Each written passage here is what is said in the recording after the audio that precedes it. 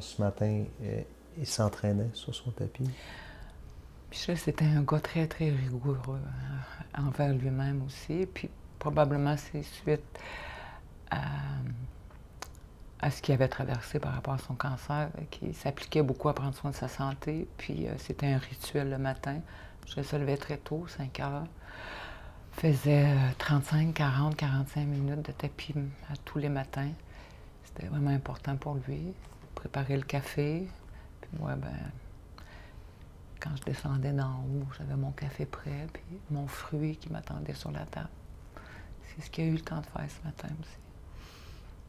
Le tapis euh, a continué de fonctionner. Je vous ai entendu tapis- raconter ça à Alain Saint-Ours ce matin. Son tapis roulant est ici au sol. Puis, euh, moi, quand je me suis éveillée un peu plus tard que lui, euh, j'étais à la salle de bain en haut. Puis, j'entendais le tapis, comme je l'entends habituellement, sauf ce qui m'a un peu inquiétée, c'est que j'entendais pas ses pas dessus.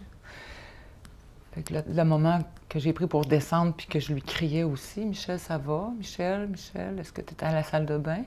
Pas de réponse. J'ai euh, eu un doute tout de suite, j'ai descendu, et puis étendu à côté de son tapis.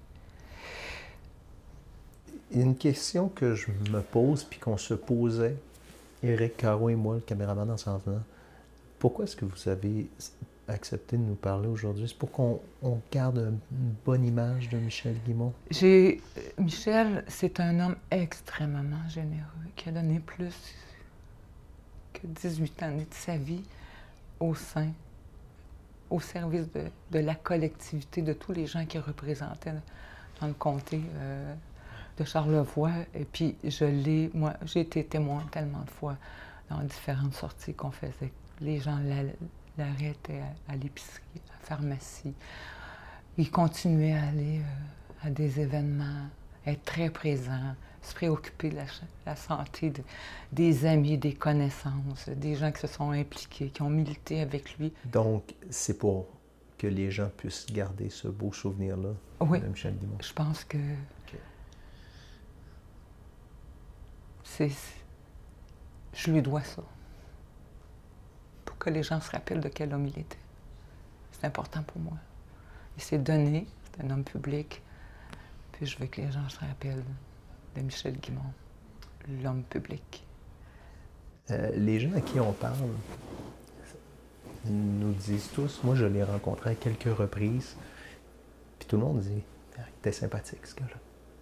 Même ses adversaires politiques diront la même chose. Juste avant que vous arriviez, le téléphone a sonné, c'était Raymond Bernier.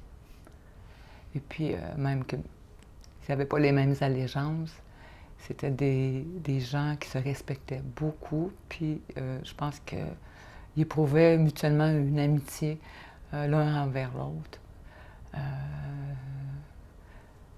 Même ses adversaires, je pense, aimaient bien Michel.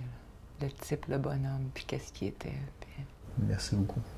Sincères condoléances. Merci.